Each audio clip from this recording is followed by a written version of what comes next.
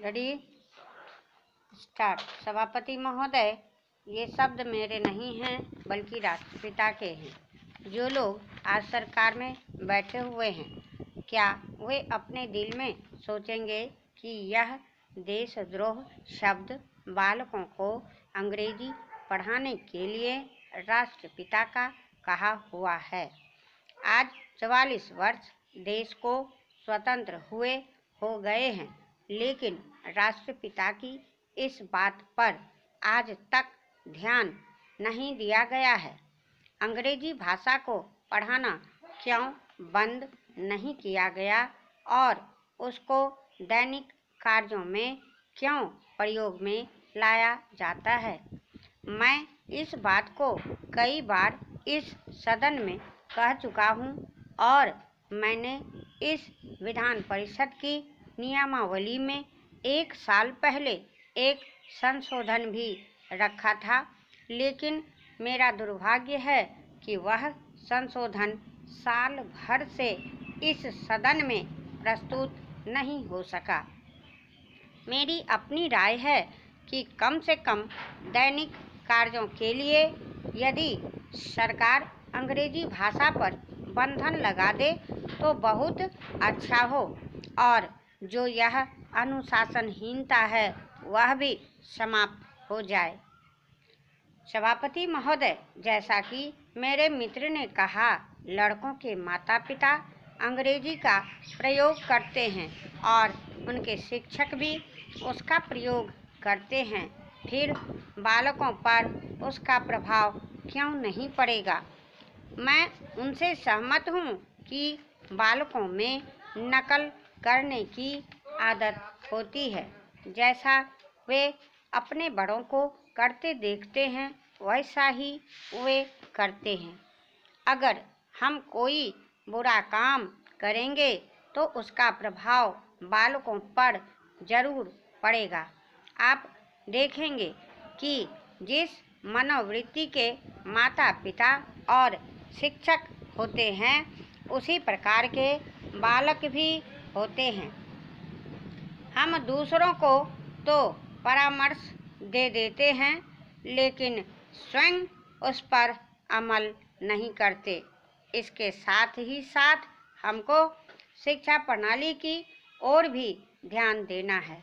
शिक्षा के जिन तरीकों को आजकल अपनाया जा रहा है, वे वास्तव में लाभकारी नहीं हैं।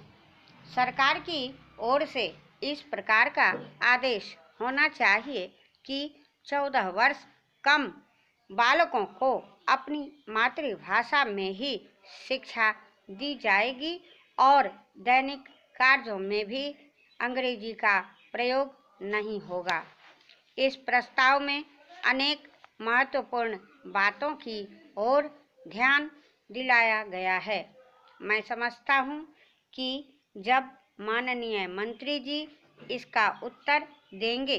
तो कह देंगे कि हम बहुत सी बातों पर अमल कर रहे हैं, लेकिन मैं समझता हूँ कि उन पर कोई अमल नहीं हो रहा है। सभापति महोदय, आज हमारे देश में जो ऊपर से लेकर नीचे तक शिक्षा दी जा रही है, उसमें व्यवस्था ही एक कारण है, जिसकी वजह से शिक्षा का स्तर गिरता जा रहा है। मेरा अपना विचार है कि जो शिक्षा प्रणाली है और जिस रूप में शिक्षा दी जा रही है, वही अनुशासनहीनता का भी कारण है। अपने देश और प्रदेश में हर एक की अपनी अपनी भाषा है और वह बालक जो इस देश में पैदा हुआ है, जो अपनी मातृभाषा की गोद में पला है, उसको यदि अपनी मातृभाषा में ही शिक्षा दी जाए तो मेरा ख्याल है कि शिक्षा का स्तर ठीक हो सकता है। जो सबसे बड़ी भूल और कमी सरकार के द्वारा दी जाने वाली शिक्षा के संबंध में हो रही है, वह यह है कि बालक की मातृभाषा में शिक्षा न देकर उसको उस भाषा में शिक्षा देने की व्यवस्था की जाए, की गई है, जो हमारे देश या प्रदेश की भाषा कभी रही ही नहीं। मेरा अभिप्राय विदेशी भाषा अंग्रेज़ी से है। मैं यह मानकर चलता हूँ कि जब से यह भाषा इस देश में आई है, चाहे वह किसी कारण से आई हो, इसे आप भी और इस माननीय सदन के सदस्य भी जानते हैं कि उससे बुरे परिणाम ही निकले हैं, कोई भलाई नहीं हुई है। इस देश को जो हानि हुई है, वह किसी से छिपी नहीं है।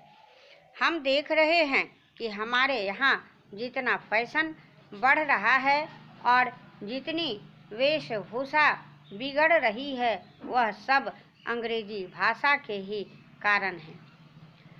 जिस समय यहाँ पर अंग्रेज़ी भाषा राज्य था, अक्सर यह देखने को मिलता था कि वे लोग जो खास करके किसी न किसी तरह से सरकारी पक्ष के ही होते थे, अंग्रेज़ों से मिलने के लिए जाते समय अंग्रेज़ी वेशभूषा का ही प्रयोग करते थे। परंतु यह इस प्रदेश और इस देश का दुर्भाग्य है कि अंग्रेज़ों का राज्य समाप्त हो जाने के बाद भी लोग उनकी वेशभूषा को पहनते चले जा रहे हैं।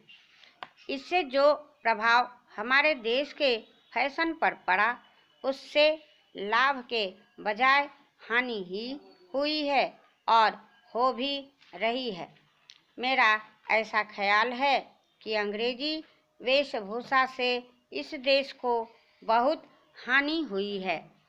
विदेशियों के भारत में आने और लूट ले जाने से उतनी हानि नहीं हुई, जितनी कि काश्तकारों को सरकारी लगान का बकाया अदा करने के लिए अपने घरों के जेवर बेचने पड़ रहे हैं। अगर मिल मालिकों के पास काश्तकारों की बकाया अदायगी के लिए पैसा नहीं है तो व्यवस्था करें।